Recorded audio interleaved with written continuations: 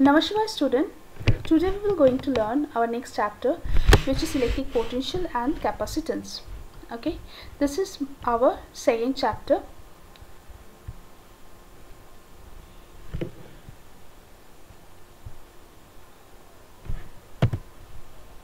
So first of all we have to know what is electric potential.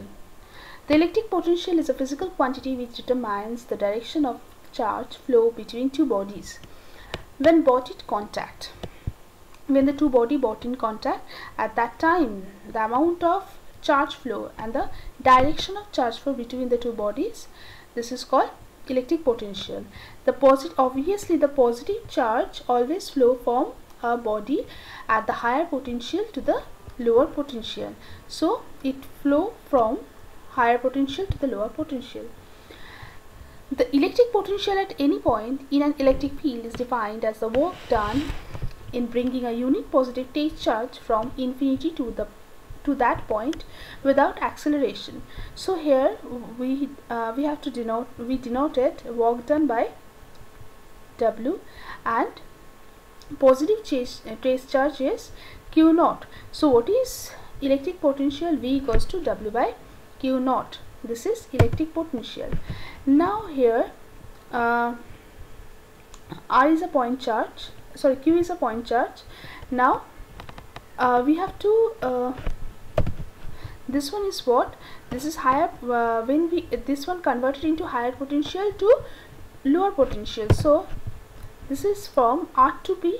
So work done by external force uh, in bringing a positive charge from r to p is denoted by we know that the total force is what?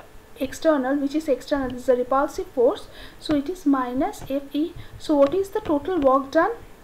Work done by external force which is uh, integration f external dr. Obviously this one is a repulsive force. So this is minus f external dr.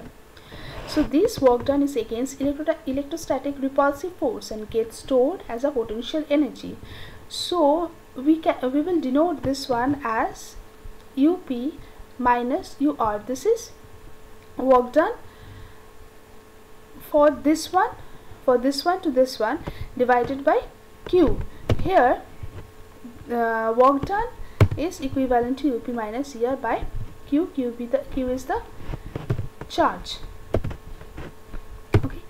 now electric potential at any point is also can be defined defined as in a negative line integral of electric field from infinity to the given point. So here this one is from R to P and if we want to say that this is infinite to R we can write minus integral uh, minus total integral R uh, infinite to R e dot dl. So this is uh, the unit is joule per coulomb or volt and the dimension is this is the dimension for the electric potential. The dimension is m l square to the power minus 3 and e to the power minus 1 now what is potential difference? This is the point okay? And the distance uh, the distance this uh, the q1 q uh, q2 q3 q4 q5 these are the different charges. And the distance are different. This is r1p and r1 uh, 2p r3p r4p and 5p these are the different distances. So the potential difference between two points in an electric field is defined as the work done in bringing unit positive charge from one point to another.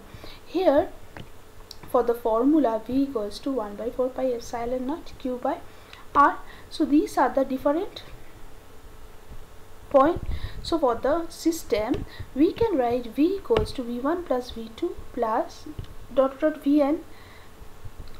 So uh, for the discrete charges we can write summation 1 tends to n 1 by 4 pi epsilon naught qi by ri so here 1 by 4 pi epsilon naught this is equivalent to q1 by r1 q2 by r2 dot dot dot qn by rn now this one is the point charge. This one is the point and the distance are not equal. But if we take a equal distance this one is a q chi q q is the charge which is present at origin and the equal distance are there. So what is according to according to that what is the equation? All are the uh, all distance are equal. So here this one is the this one will create an equipotential surface. So an equipotential surface is a surface with a constant value of potential at all points of the surface. Okay? Means the potential remain constant throughout the surface. And for a single charge q the potential is given by v equals to 1 by 4 pi epsilon naught q by r. Now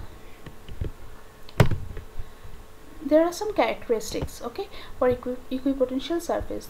Electric field at every point is normal to the normal means every point this one is 90 degree okay to the equipotential surface passing through that point. That point means this one. If the field were not uh, normal to the equipotential surface if this one is not normal okay it would be non-zero component because this one will be cancelled out. This is same and this one will be cancelled out. Okay? And there is no potential difference between any two points on the uh, surface and no work done is required to move a test charge on the surface. If there is there is no potential difference means potential difference is zero this one potential difference is zero then work done become there, there is no work done so work done become zero okay. Thank you for watching this video